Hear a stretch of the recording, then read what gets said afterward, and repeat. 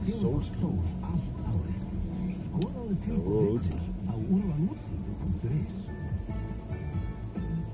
Já, ég var að skulla Sverri á sjúkriðhálfum. Hann hætti hvað ég tekið smá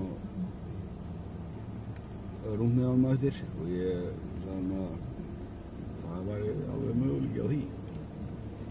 Ég ætla að fara heim núna og gera egg og bacon handa mér og mömmu og og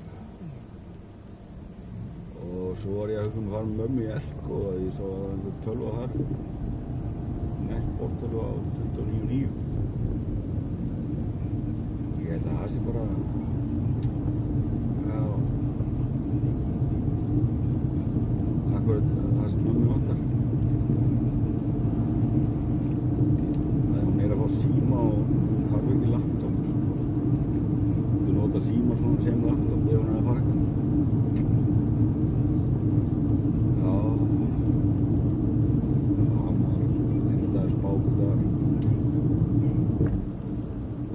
Ég var að skoða felgur hjá hann, Sörri, og hann gaf mér eina peysu